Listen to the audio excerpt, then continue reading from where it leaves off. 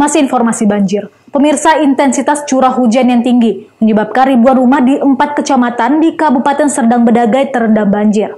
Banjir terparah berada di Kecamatan Serampah dengan kedalaman sekitar 1 meter.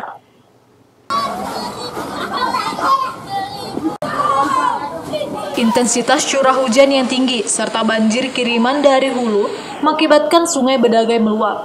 Akibatnya, empat kecamatan yakni Kecamatan Tebing Tinggi, Sebamban, Serampah, dan Kecamatan Tanjung Beringin dilanda banjir. Lebih kurang 4.300 kepala keluarga atau 15.200 jiwa terdampak banjir.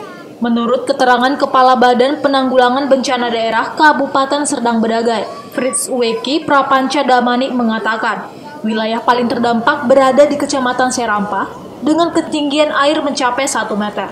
Banjir diakibatkan curah hujan yang tinggi dan meluapnya sungai Bedagai menyebabkan banjir kembali meluas ke sejumlah wilayah.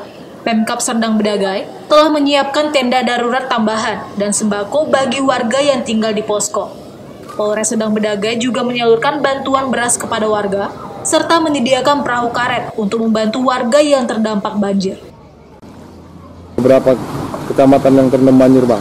Uh, data sementara ada empat kecamatan, itu Kecamatan Bamban, Kecamatan Tebing, Kecamatan uh, Lampah dan Kecamatan Tanjung Beringin.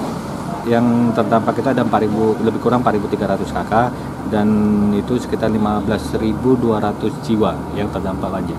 Yang terparah itu ada di Kecamatan Lampah. Ketinggian air lebih kurang sepinggang orang dewasa. Uh, untuk sementara tidak ada yang terisolir. Kami usahakan paling tidak yang kami usahakan adalah perahu karet.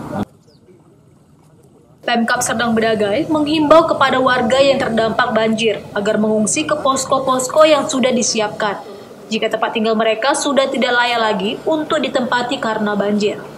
Tim kesehatan juga telah disiapkan untuk mengecek kesehatan warga yang terdampak banjir. Abdul Malik melaporkan dari Serdang Bedagai untuk Evarna TV.